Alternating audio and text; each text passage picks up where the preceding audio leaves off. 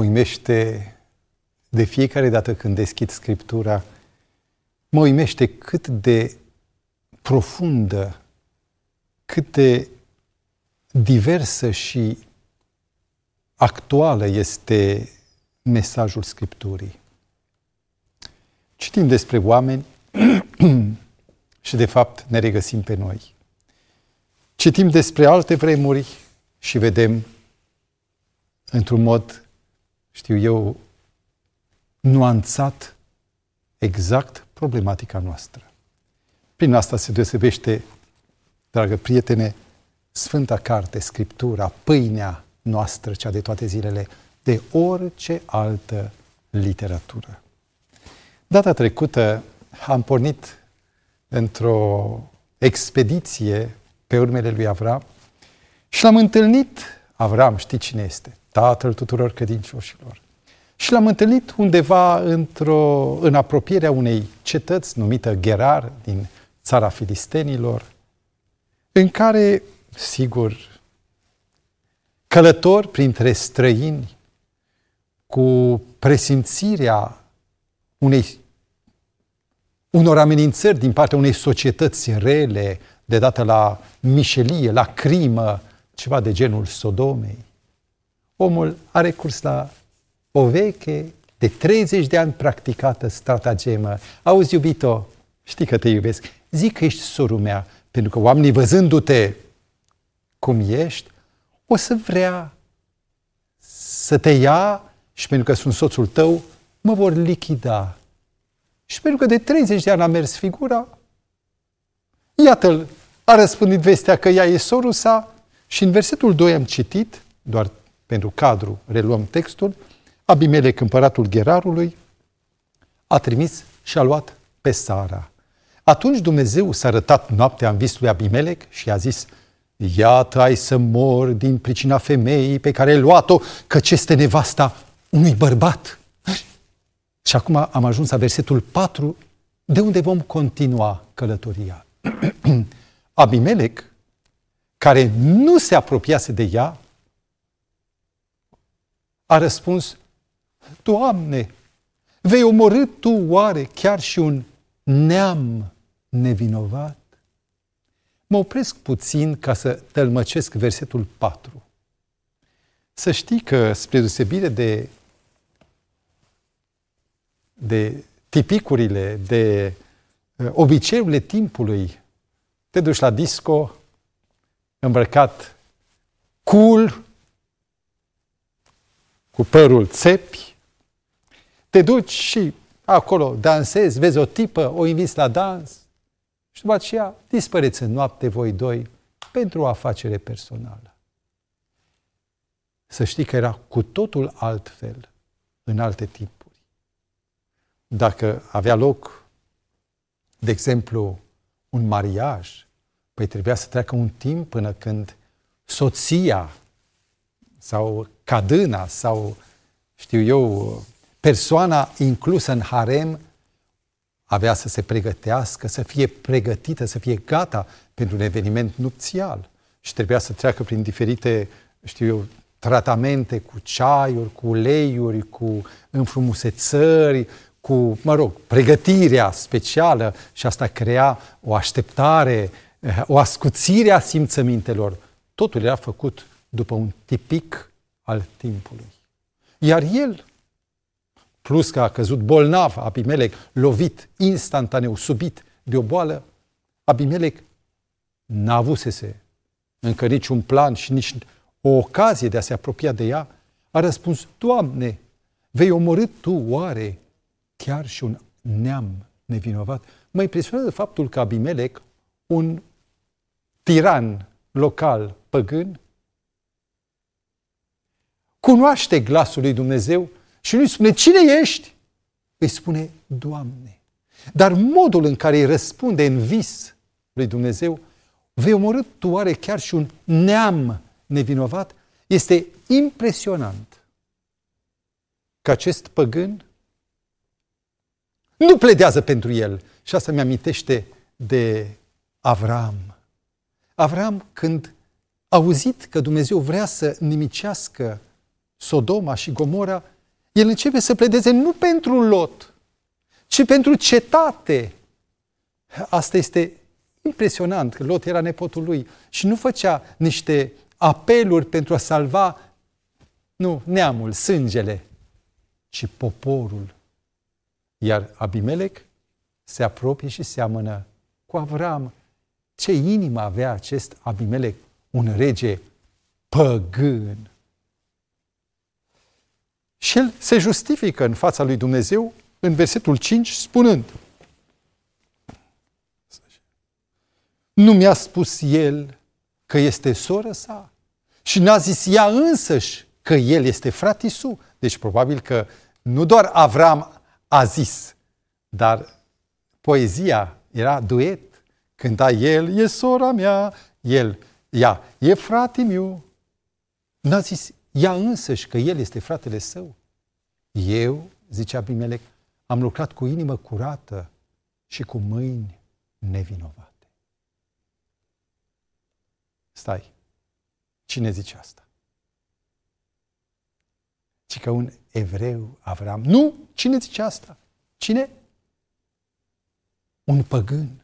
Și Dumnezeu i-a zis în vis, fiți atenți, versetul 6, știu, confirmă, știu că ai lucrat cu inimă curată, de aceea te-am și ferit eu prin boala trimisă ca să păcătuiești împotriva mea, nu împotriva lui Avram sau împotriva Sarei. Iată de ce n-am îngăduit să te atingi de ea. Și din nou mă uit la ce spune Dumnezeu, nu ce spune Abimelec, păgânul. Dumnezeu confirmă unui păgân, tu ai o inimă curată. Dar cum se poate un păgân care nu cunoaște pe Dumnezeu, care habar n-are de scriptură, care nu merge la biserică, care nu spune rugăciunea, un păgân cu inimă curată, nu este oare un oximoron, așa se cheamă în uh, figurile de stil, oximoron, adică cum, cum mai spune o gheață fierbinte, eh, cum să fie gheața fierbinte, sau un întuneric strălucitor de luminos. De cum să fie întunericul luminos? Este uh, o contradicție de fond. Un păgân cu inimă curată. E oximoron. Aș vrea să vorbim puțin despre acest lucru. Ce ți arăt eu pe ecran este chipul unui autor, îl cheamă Don Richardson, care a fost el însuși misionar, poate am mai amintit de el, în uh, Irianul de Vest, adică Noua Guinee, este o insulă care în partea vestică se cheamă Noua Guinee și în partea estică se cheamă Irian, Irianul de Vest. Irianul de Vest aparține de Indonezia, dacă nu mă înșel. Iar Noua Guinee, partea de vest, este o țară cu guvern separat. Să știi că teritoriul acestei insule este extrem de accidentat, vulcanic. Când am fost prin Asia, în asemenea locuri, am văzut cât de impresionant poate fi un relief vulcanic în care dearurile apar deodată din pământ, drepte, înalte. E un alt peisaj care lasă alte impresii. Și aceste platouri înalte ale Irianului, ale Noi Guinee, sunt încă puțin cercetate. Sunt jungle unde locuiesc triburi care au prea puțin sau n-au avut deloc, poate, de a face cu civilizația.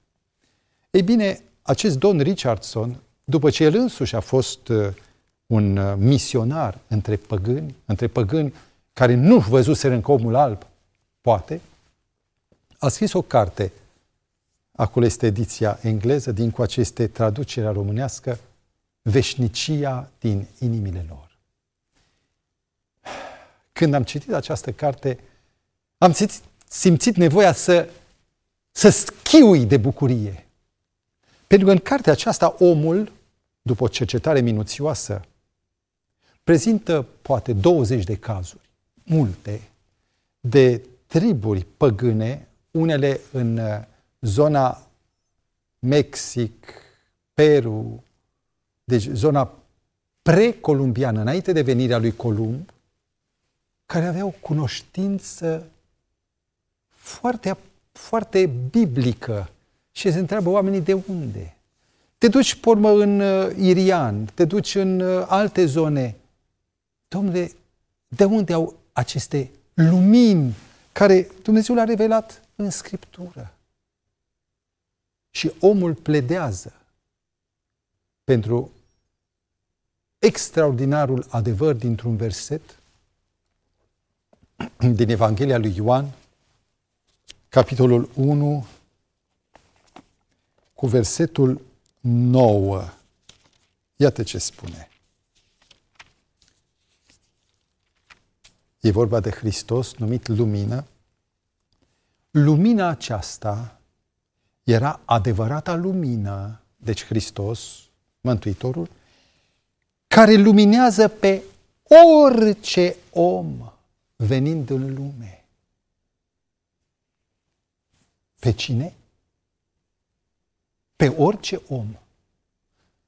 Am văzut în zona Gării de Nord homeless, copii vagabonzi care trăiesc în canale. Și ei sunt luminați.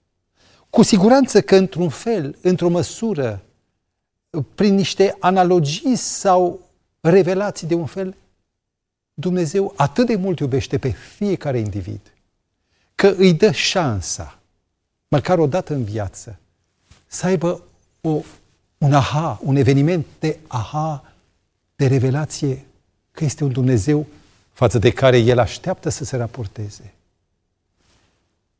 Și oare păgânii aceștia, care n-au avut șansa să cunoască Scriptura, mesajul Evangheliei, oare să fie străini de Dumnezeu? Sau Dumnezeu e interesat și de ei, că sunt copiii Lui? Ei, cartea aceasta vorbește atât de profund despre faptul că Dumnezeu se ocupă individual de toate neamurile și de toți indivizii. Am aici o imagine, conștiința.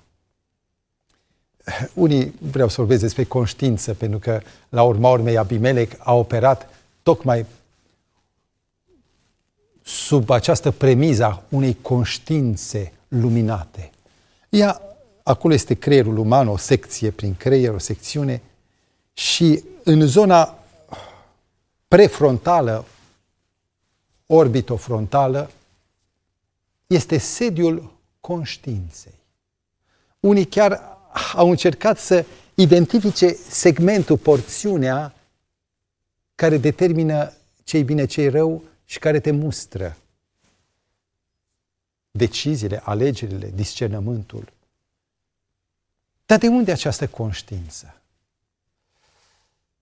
Și din uh, cercetările mele am descoperit că acest ceva, această conștiință, are un proces de formare, de formatare. Eu trăiesc într-o lume în care, prin percepțiile mele senzoriale, ajung să identific niște legi, ajung să descoper ce e bine și ce e rău din, în mod experimental, din experiența mea. Și pentru că știu că e bine ăla și rău acel lucru, în mintea mea se creează proiecția acestui, acestei, zic eu, distilări a realității și încep să am o structură la care mă raportez. Bine, rău. Dar nu-i destul. Pentru că Dumnezeu nu lucrează doar pe calea observațiilor sau a, a percepțiilor omului, ci Dumnezeu se revelează și în conștiința mea apare și o zonă care nu provine din experiența mea.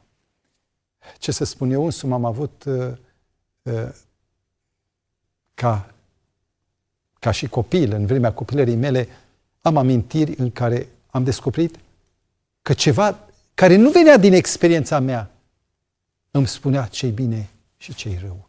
Dumnezeu însuși are o parte în a crea această conștiință. Deci cunoștința, fie dobândită experimental, o cunoștință sau informația culeasă cumva, dar și prin revelație, tot o informație, dar de sus în jos, îmi creează ceea ce se numește câinele de pază al moralei mele. Și când vreau să pun mâna, zice, nu, ce faci? Ah, și dacă vrei să rămâi moral, îți lași mâna jos, ți-o ascunzi și întorci capul de la tentație. Dacă e mai tare tentație și ei, gândurile mele, ce conștiința, sunt eu. Nu? Eu pot să hotărăsc împotriva mea ce e bine și ce e rău. Vreau să-ți povestesc un caz. Ă, cu mulți ani în urmă, cred că 20 de ani, am întâlnit un personaj în cărți, un ă, băștinaș din insulele Solomon, în imaginea din stânga îl poți vedea, ă, din păcate, îmbrăcat în ținută europeană, dar desculț, pentru că omul ăsta a luat haina unui misionar, dar a rămas cu short, cu fustă, pentru că acolo ei poartă așa ceva, și arată instrumentele prin care el ucidea. Uh, instrumente, scutul lui, uh, sulița lui, pumnalul lui.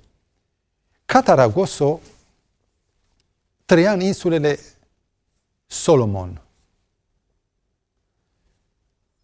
Într-o lagună unde omul alb avusese rare ori șansa să pătrundă. Era fiul șefului de trib. Pe tatăl său îl chema tot Cataragoso, dar era senior. Iar el era Cataragoso junior. Și acest uh, copil a crescut într-o cultură, într-o cunoștință canibală. Când zic cunoștință, mă referam la ceea ce formează conștiința lui. Era canibal. Și povestește că odată au coborât o pereche de misionar pe insula lui, era copil, tatăl său a chemat războinicii au, au, au, au, au, și au pornit, l-au prins și ce au făcut? Păi, l-au mâncat, dacă sunt canibali. Și cred că și băiatul trăgea de zgârciul sau de mușchiulețul, de pendoanele unuia sau altuia dintre canibali, dintre misionarii sacrificați. Și a crescut în această mentalitate că noi, dacă vrem să fim puternici, trebuie să dobândim din creierul dușmanului nostru puterea lui și atunci vom deveni mai tari. Și atunci primul lucru care se mânca la canibal era creierul. Ah, nu-ți dai seama ce înseamnă să mănânci creier. Chiar cei care mănâncă creier de animale nu-și dau seama că creierul este organul care se descompune, țesudul care se alterează primul și nu-ți dai seama mâncând creier ce bagi în tine. Da, nu discut. În fine, băiatul crește, devine de 14 ani, un tinerel la data aceea sau în, în cultura aceea, la 14 ani, uh, ești deja bărbățel. Poate că poți să ai și nevastă, nu știu. Nu mai știu care era uh, care erau coordonatele știu eu, sociale de acolo. Dar, deodată se aude o veste, niște copii aduc zvonul că un alt om alb a ajuns pe insulă. Și atunci tatăl îi oferă privilegiul, demnitatea de a-l prinde și de a-l aduce și de a-l, de a-l secționa, de a-l îl face file-file ca să-l mănânce fiului său. Cataragoso, fi bărbat, ia-ți războinicii și prinde-l, omoară-l.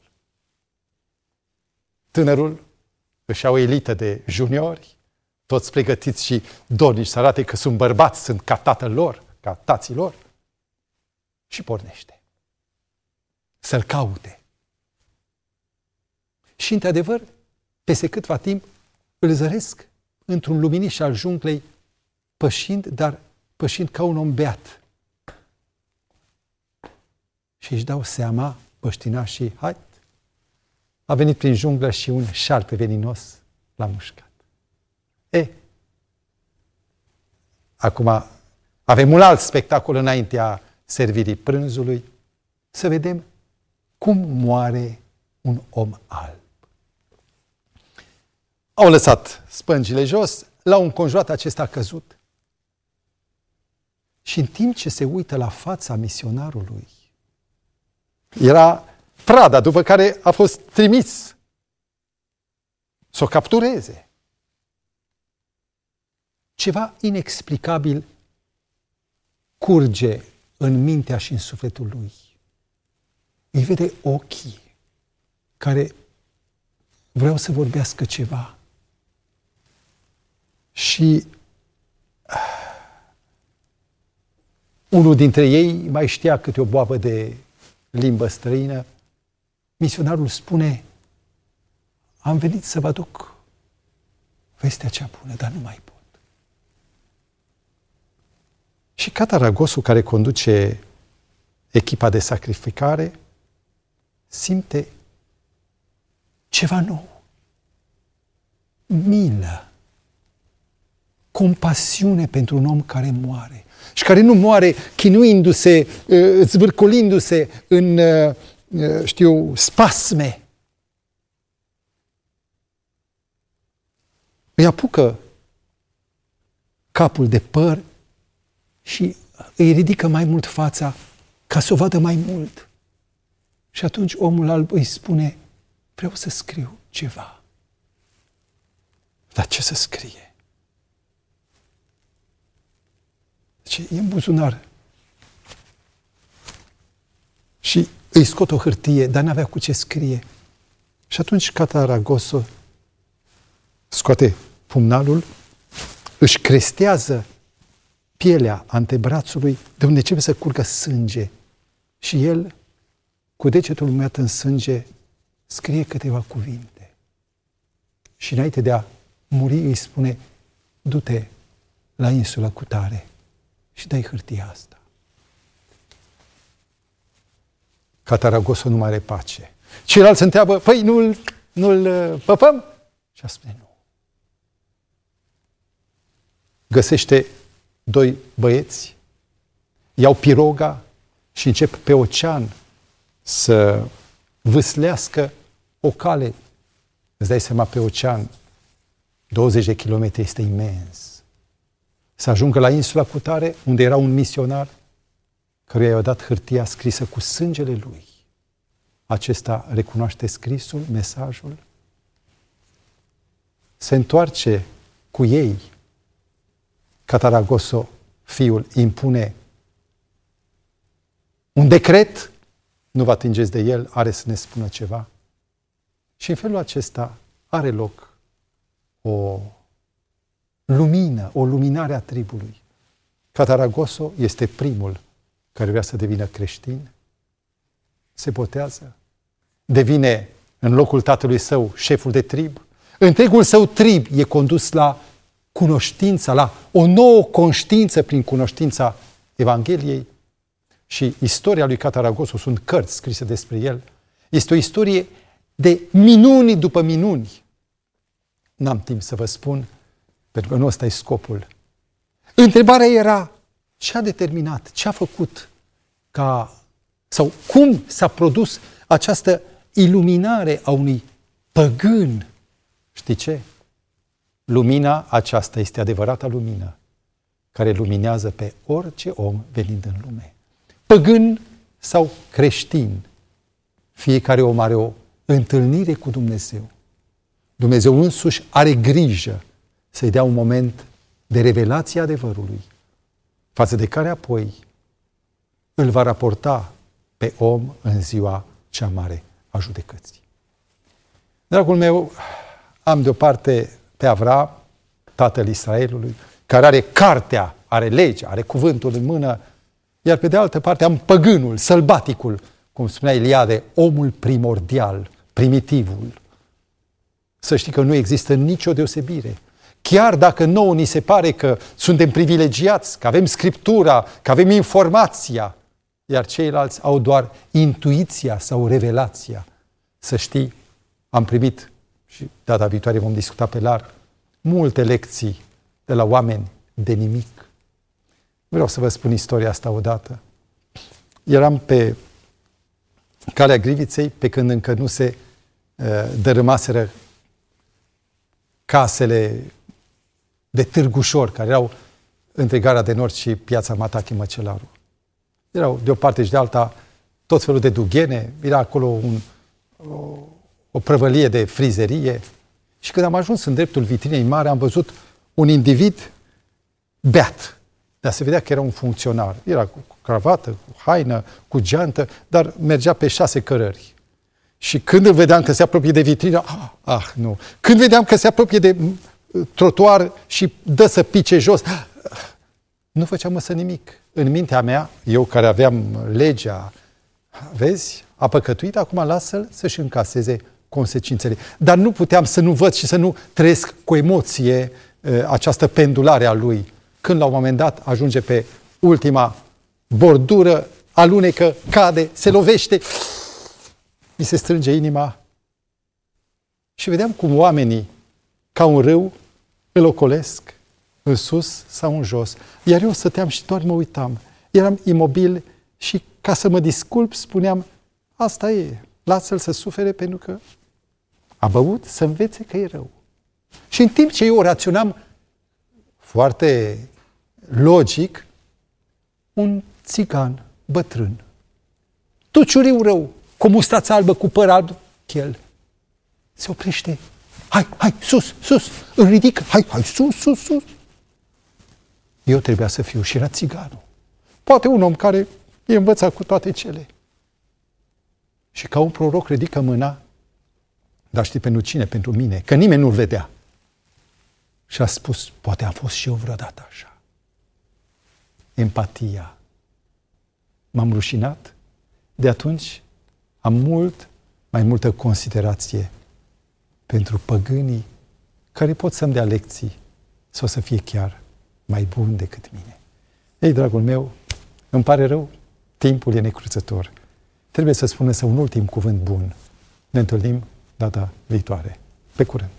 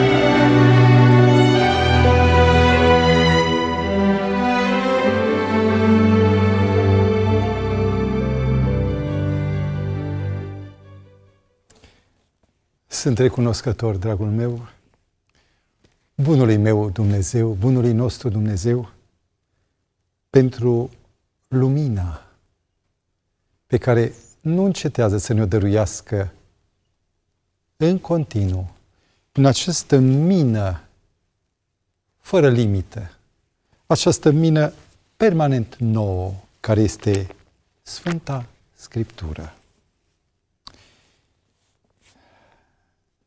Nu știu dacă știi că dacă la ora actuală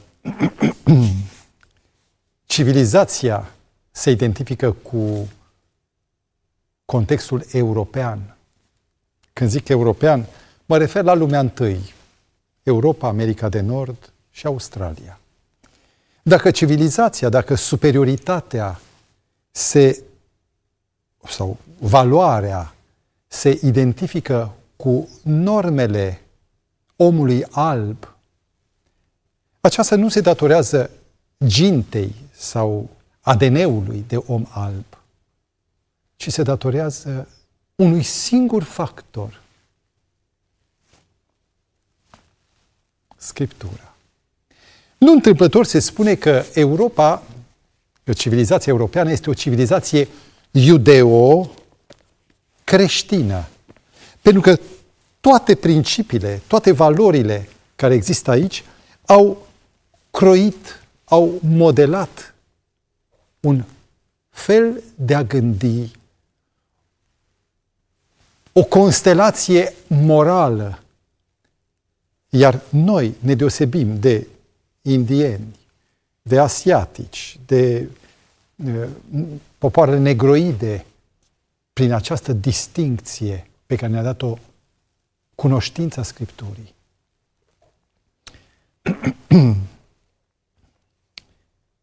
Într-o perioadă am fost atras de cultura Indiei, de Orient. Am citit câteva cărți despre mistica, despre, uh, știu eu, uh, orizontul extraordinar al, al cunoașterii. Știi că în loc ca Eliade să meargă la Sorbona sau la Harvard pentru, aș, pentru a dezvolta un, o informație, o învățare, un, știu eu, uh, un univers în domeniul filozofiei, în domeniul descifrării codului uman, a plecat în India. Și acolo a descoperit un alt mod de a gândi, o altă filozofie. La ora actuală este chiar un trend să te uiți spre Orient, să spui, a, India. Și ce a făcut această cultură cu India? Știi că la ora actuală cele mai mari mizerii uh, sociale există în India. Această înaltă, lăudată cultură i-a ținut pe oameni până azi în caste. Știi că există în India milioane și aș putea spune cam 3, 300 de milioane, fii atent ce spun, 300 de milioane de oameni care sunt în a cincea castă, care nici măcar nu este omologată. Deci este casta brahmanilor, este casta uh, militarilor, este casta uh, meșteșugarilor și casta paria, casta celor mai de jos. Ei, mai este încă una care n-au nici măcar act de identitate, care nu sunt considerați oameni de către stăpânire. Am avut discuție personală cu directorul sau cu președintele uh, diviziunii India. Și acesta a spus că acești oameni care nici măcar nu sunt cunoscuți sau recunoscuți ca oameni, aceștia sunt cei mai deschiși pentru a căpăta o identitate prin cuvântul lui Dumnezeu. Ei bine, ce a făcut cultura africană din africani? unde în zona subsahariană este obiceiul ca tatăl să-și defloreze fica înainte de a se căsători. Îți dai seama? Unde există sclavie, unde există orgii și toate multe lucruri care prin cultură degradează pe om. Dacă noi suntem europeni sau civilizați, se datorează exact influenței acestei cărți a culturii iudeo-creștine. Iar lucrul acesta mă face pe mine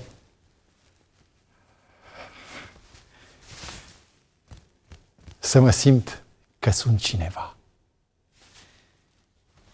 Discutam data trecută de relația Avram-Abimelec. Un creștin sau iudeu, mă rog, creștin, tot una, și un păgân. Eu sunt cel care am informația. Ăsta este un silvaticus, un sălbatic, om de pădure, care nu are niciun fel de reper. Ți amintești de versetul 6 pe care vreau să-l citesc acum.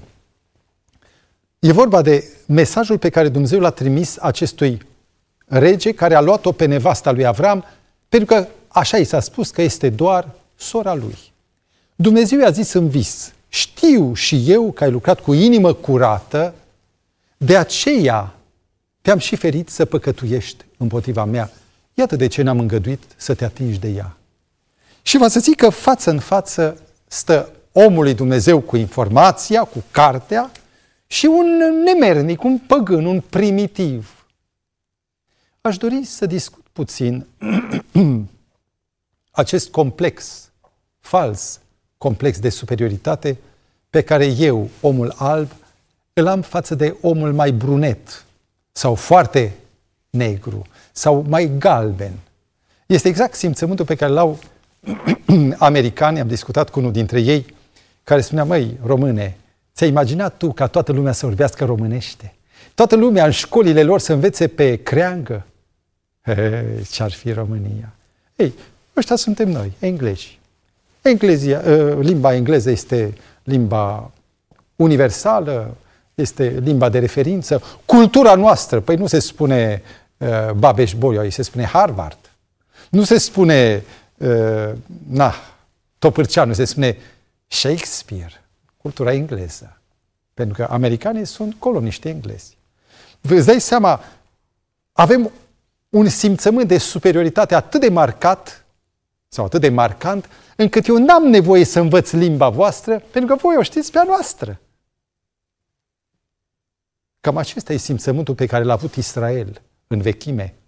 Și am să citesc un text frumos din Amos, care pare că îndreptățește, Amos a fost un, unul din profeții Vechiului Testament, al treilea profet mic, zice așa. Capitolul 3, versetul 2. Dumnezeu îi vorbește lui Israel. Eu v-am ales numai pe voi dintre toate familiile pământului.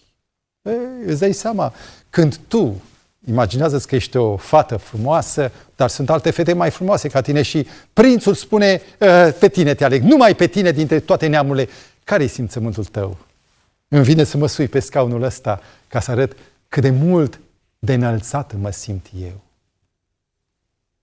Israelul a fost continuat de creștinism. Și complexul superiorității îi marchează pe creștini față de păgâni. Ei, hai să citim un alt pasaj din Amos, același proroc, care ne va pune, cum să spun, ne va spulbera unul din pilonii acestei, acestei uh, vanități. Să citim. Înainte de asta vreau să uh, explic ce văd aici în tablou. Israel a fost, a fost un popor de robi pe care Dumnezeu prin Moise l-a scos prin miracol prin Marea Roșie. Ce vezi aici nu sunt stânci, nu e un canion. Este un canion în ape. Iar poporul, circa două milioane de oameni, au ieșit printr-un pasaj sculptat, săpat în ape, ca pe uscat. Moise a ridicat toiagul și prin acest act prin care Dumnezeu l-a scos pe Israel din uh, uh, Egipt, prin asta Dumnezeu și-a câștigat dreptul, prin răscumpărare, prin salvare, să se numească El Dumnezeul poporului și poporul să recunoască exclusiv pe El drept Dumnezeul lui. Fii atent ce spune Dumnezeu în Geneza 28, prin care, așa începe, acesta e preambulul celor 10 porunci a decalogului, așa începe decalogul. Înainte de porunca întâi, Dumnezeu spune, eu sunt Domnul Dumnezeul tău care te-am scos din țara Egiptului, din casa robiei. De aceea îți dau poruncile, pentru că eu sunt salvatorul tău și tu mi-ești dator pe veci.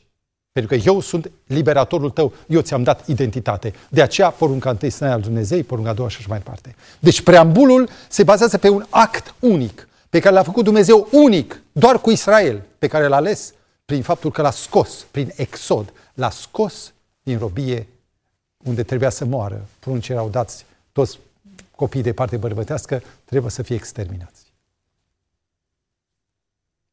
Dacă te întreb acum, în virtutea cărui act Israel a devenit poporul lui Dumnezeu și Dumnezeu poporul lui, Dumnezeul lui Israel? Pe prin actul exodului. Bun, citim mai departe. Copiii ai lui Israel, spune Amos, capitolul 9, cu versetul 7. Nu sunteți voi oare pentru mine? Stai, stai, stai, cum? Ca și copiii etiopienilor? Brrr, cum, cu etiopienii?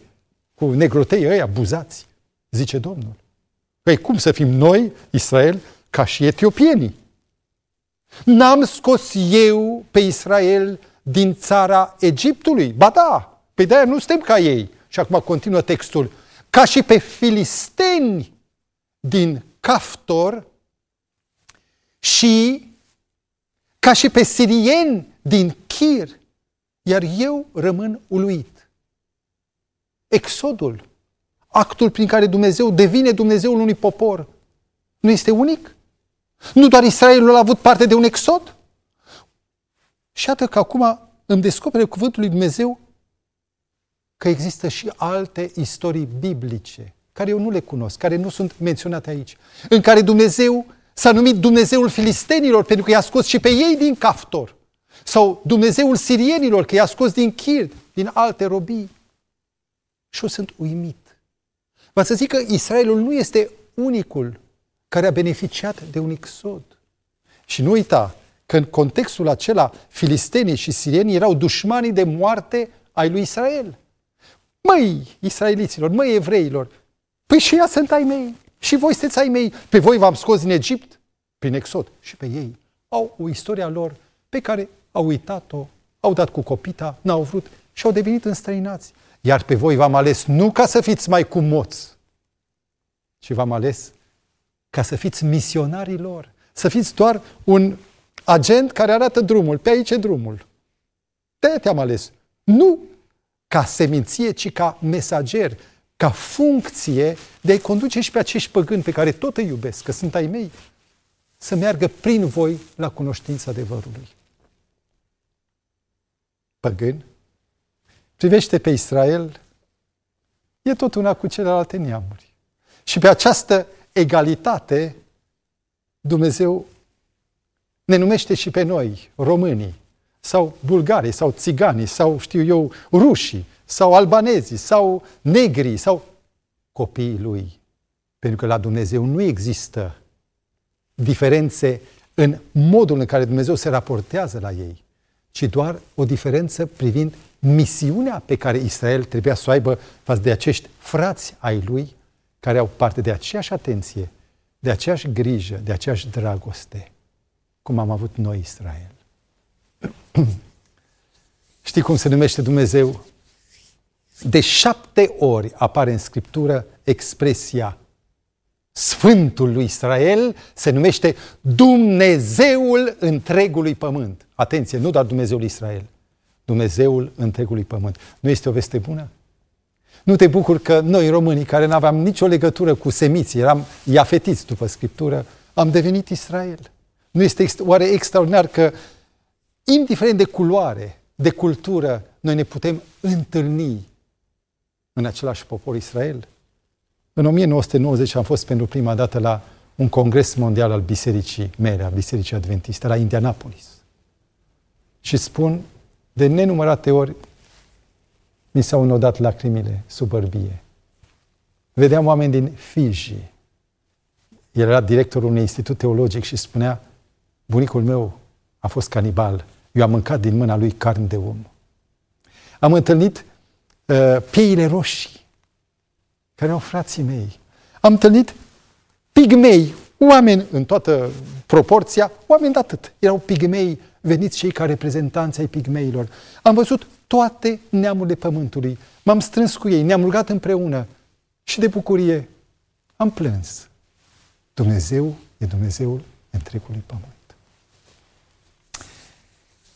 Sunt atât de fericit că multe ori păgânii demonstrează ceea ce mie îmi lipsește.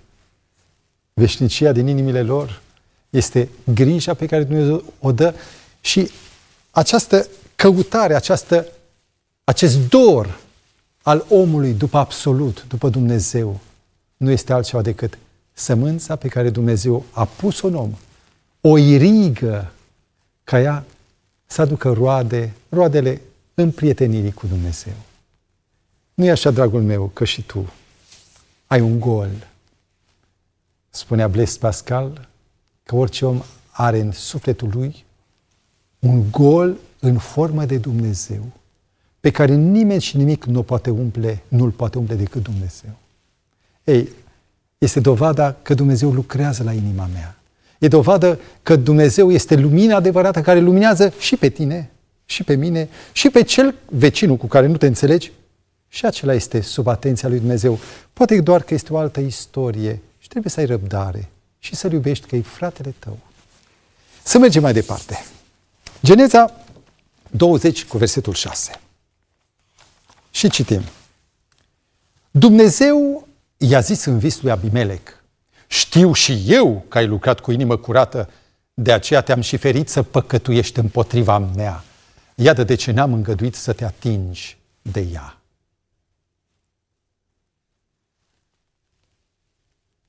Versetul 7 îmi spune, acum dă omului nevasta înapoi, adică lui Avram, dă-i înapoi pe Sara, căci el este proroc. Se va ruga pentru tine și vei trăi. Dar dacă nu o dai înapoi, să știi că vei muri negreșit tu și tot sau toți cât sunt ai tăi. Textul acesta este foarte încărcat cu semnificații. Mai întâi de toate, este pentru prima oară în Scriptură când apare expresia proroc. Știi cum sună cuvântul proroc sau profet în limba ebraică? Însemnează nabi. Și ce însemnează nabi? Naba este o rădăcină care spune a proclama, a vesti. Pentru noi, cuvântul profet parcă ne conduce spre altă zonă. Este cel care prevestește viitorul, viitorolog. Interesant este că în limba ebraică sau în Biblie, o să discutăm mai pe larg, prorocul nu era un oracol, oracolul de la Delphi, care bolborosea mesaje esoterice primite de undeva de sus, întotdeauna cu sens criptic, trebuia să te gândești, să-i dai o interpretare, pentru că era foarte alambicat. Nu. În 1 Corinteni 14 cu 3 spune Apostolul Pavel, explică ce înseamnă proroc sau prorocire. Spune, cine prorocește, vorbește oamenilor spre zid. Deci vorbește spre zidire, spre sfătuire, spre mângâiere. Dacă eu sunt, de exemplu, profesor și în clasa mea sunt elevi, mai mitică, ia vină încoace. Bine faci tu, cotragi de păr pe măriuța. Ia, dacă te trage, no, hei, lasă să te trag puțin. E bine să te trag de păr. Îți face bine. Atunci, deci ce fac eu acum? Sunt un moralist. Hei, în Scriptură asta se numește prorocire. Iar prorocul nu era altceva decât interpretul lui Dumnezeu, interpretul voii lui Dumnezeu sau proclamatorul voii lui Dumnezeu pentru oameni. Ai o imagine aici și vreau să te întreb dacă știi despre ce e vorba. Dacă ai mai citit Scriptura, Vechiul Testament, atunci trebuie să știi că cineva care ține în mână un șarpe nu poate fi decât cine? A? Ia, uite-te. Este evenimentul care se petrece la curtea lui Faraon, în momentul când Moise a aruncat toiacul la pământ, s-a făcut un șarpe, l-a apucat de coadă și s-a făcut din nou toiac. era faraon, era Moise și era și fratele lui Moise, numit Aaron. Știi cum îl numește Scriptura pe Aaron? Nabi. În Exod 4 cu 17 și 7 cu 1, Dumnezeu îi spune, Aaron va fi gura ta sau vestitorul tău sau prorocul tău. Deci, proroc este cel care face cunoscut, care anunță, care articulează voia lui Dumnezeu pentru oameni. E interpretul lui Dumnezeu pentru oameni. Deci, să nu credeți, și am aici o imagine, sau chiar mai multe, Pavel, apostolul Pavel în Tit, capitolul 1, Titus 1 cu 12, numește un moralist din Creta cu titlul de proroc. Atenție, era păgân, între greci. E vorba de Epimenides, care a fost un păit păgân de prin anul 600 înainte de Hristos și care a spus despre locuitorii din Creta, cretanii sunt totdeauna niște mincinoși, pântece leneșe și așa mai departe. Interesant este că Pavel, apostolul, teologul Noului Testament, numește pe un moralist, îl învestește cu demnitatea de proroc. Ca să înțelegeți diferit ce însemnează proroc. Și că Nostradamus a profețit. Nu te supăra. Nostradamus n-a avut nici în clin, nici în mânecă, nici cu morala. Nu vorbim de istoria lui, dacă vrei să o povestesc eu când ieșim de aici. Nici cu... A fost un mare mincinos, a femeiat și așa mai departe. Uh, nici cu viitorologia, Nostradamus a zis, împărat roșu împărat, cu verde împărat, uh, cai negri, cai verzi. Nu. No. Proroc biblic însemnează unul care prezintă voia lui Dumnezeu. Și în sensul acesta, poate un duhovnic care vine și spune, prietene, ai greșit, este un nabi, un interpret al lui Dumnezeu pentru tine. Și dacă te gândești să clarificăm și mai mult ce presupunea prorocia sau profeția. În primul rând, să proclame voia lui Dumnezeu și în al doilea rând, să mijlocească. Ți amintești ce spunea Dumnezeu lui Abimelec? Dă-i nevasta înapoi și el se va ruga pentru tine, va mijloci ca tu să te vindeci. Deci, a doua funcție a prorocului era de a mijloci la Dumnezeu. Dacă te uiți și citești cartea lui Ieremia sau lui Isaia sau cartea profeților, a lui Daniel, e un capitol întreg unde e doar o rugăciune care mijlocește pentru popor. Profetul era cel care proclama voia lui Dumnezeu, dar nu-l durea mai departe nicăieri de popor. Și spunea, Doamne, Moise, Doamne, mai bine șterge-mă pe mine pentru poporul acesta. Iată ultima imagine. Dacă citești profețiile Scripturii, vei descoperi că cea mai mare parte, 95% din toate mesajele, nu se referă la viitor, ci doar la păcat și la schimbarea vieții. Iar scrutarea viitorului este acolo, sunt doar câteva fragmente care apar vis-a-vis de viitor și, în mod special, secțiunea escatologică sau care se referă la sfârșitul timpului iar altele care sunt condiționate, care vizează dacă nu te întorci de la păcat, se va întâmpla cu tare. Va veni asirianul, va veni babilonianul și te va lua în robie. Bun. Oare faptul că un profet, Avram, a mințit și a dat nevasta, nevasta lui scumpă pe care o iubea, și a dat unui păgân, faptul că a păcătuit, nu trebuia Dumnezeu să-l destituie. Eu l-aș fi destituit. Și de aceea nu sunt eu ca Dumnezeu. Am câteva cazuri la care mă gândesc punctual. Aaron. Și ce a făcut Aaron? Profetul lui Moise, că tu vei fi Dumnezeu și Aaron va fi gura ta, interpretul tău. A făcut un vițel de aur. Și în loc ca Dumnezeu să-l nimicească, l-a lăsat mai departe, l-a iertat. Un altul, Balaam, este unul care a, a fost un profet, a vestit une, una dintre cele mai frumoase profeții despre Mesia. Era un profet decăzut și încă totuși Dumnezeu îl folosea.